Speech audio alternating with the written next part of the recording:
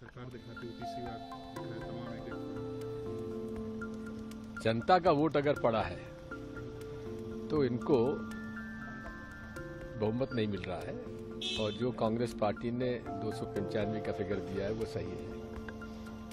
और उसके बाद यदि 300 पार तो वो जनता का वोट नहीं है, वो ईवीएम मशीन का वोट है।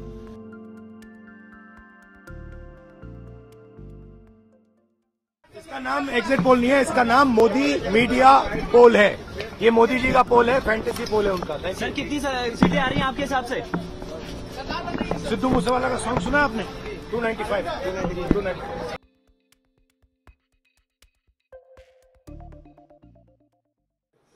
उन्होंने ये सरकारी एग्जिट पोल करवाए हैं। ये बिल्कुल जाली है बिल्कुल नकली है बिल्कुल झूठे हैं। इंडिया जनबंधन के पार्टियों को दो सीटों से कम नहीं मिलने वाला है। दो सीटों के ऊपर ही इंडिया जनबंधन के पार्टियों को मिलेगा। ये एग्जिट पोल फर्जी इसलिए हैं क्योंकि हमारे निवर्तमान प्रधानमंत्री और निवर्तमान गृह मंत्री ये सब मनोवैज्ञानिक खेल खेल रहे हैं। दबाव डाल रहे हैं।